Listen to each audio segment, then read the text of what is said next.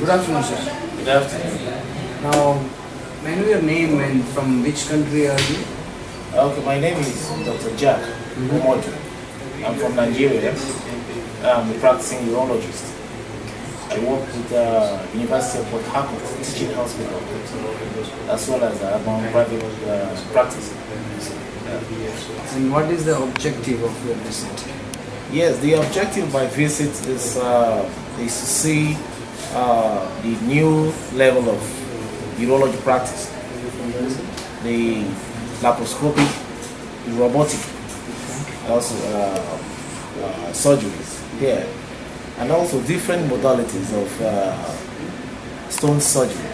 That's why I came here. I came to broaden my knowledge of urological practice. Any particular reason why you chose MPUH? Okay, um, I met the, the gentleman, uh, Dr. Desai, the SIU president, and also I met uh, Shashikant Mishra, Dr. Shashikant Mishra, and a couple of other people from Patel here.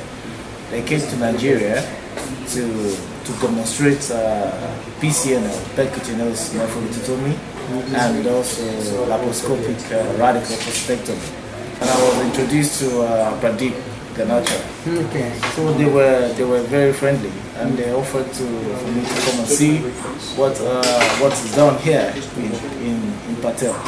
So I wrote to them, and they invited me, and I came. Okay. And what's your experience so far? What do you saw? The infrastructure, the experienced doctor expertise and things like that? It's been, it's been wonderful. Hospital is quite is quite advanced. It looks small from the outside, but it's big inside.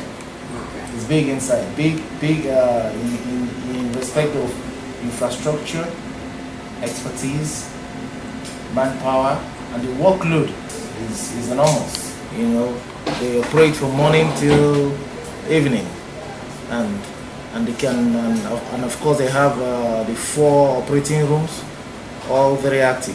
Did you did you watch any robotic surgery? Yeah, there were there were lots, lots. In fact, right now there's there's, there's a conference or a workshop on robotic surgery.